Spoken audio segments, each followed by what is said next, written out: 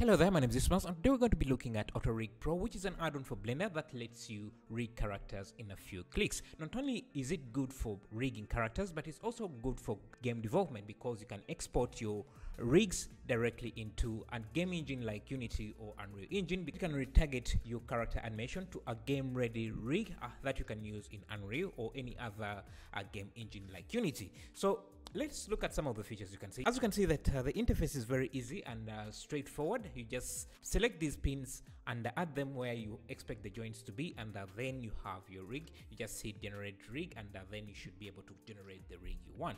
The add-on is also modular so if you want things like spines, arms, legs, uh, tails, fingers, you can just add them or remove them depending on what you're trying to animate or, or, or what you're trying to rig. Uh, you can also rig birds, feathers, rigs for ropes and a lot. So I'm going to be leaving a link in the description so that you can check it out. So play with it and you can see over 14k people have already bought this add-on. Uh, that means that uh, it has a lot of value and uh, a lot of people have found a lot of value in this add-on. So everything has been set up for you so you can easily adjust use uh, the animations of the rig as you want. Uh, there is forward IK and inverse kinematics already set up for you. So it also gives you a customizable UI so that you don't always have to interface with uh, the rig itself. So you can just use a simple UI uh, to adjust uh, your poses and uh, change everything as. Yeah, so I'll be leaving a link in the description if you want to check this out and thank you.